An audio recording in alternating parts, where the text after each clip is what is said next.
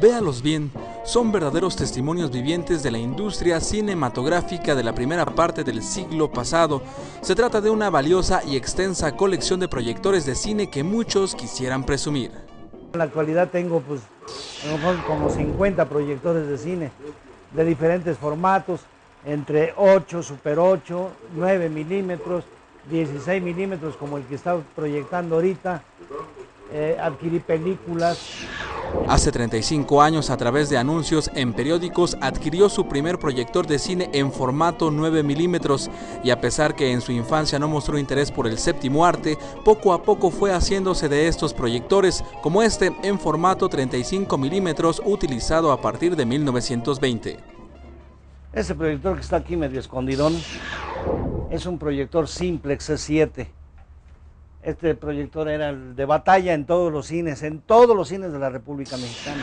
Recientemente, don Augusto publicó su autobiografía denominada Así me tocó vivir, en la cual expone cómo le nació el gusto por coleccionar este tipo de proyectores, producto de haber trabajado como posturero en el antiguo cine Orfeón de la Ciudad de México. Este es un proyector Acme en 35 milímetros, mudo.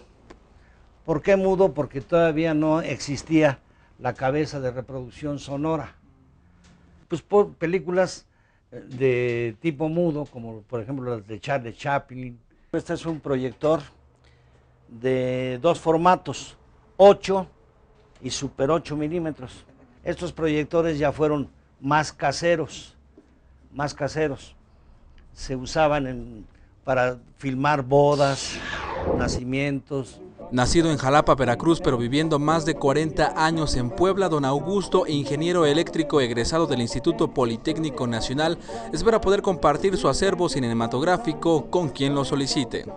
De todos mis proyectores yo quisiera, de algún modo, obsequiarlos, donarlos a instituciones que realmente sean afines al cine.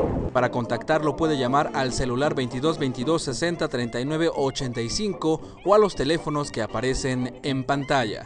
Javier González.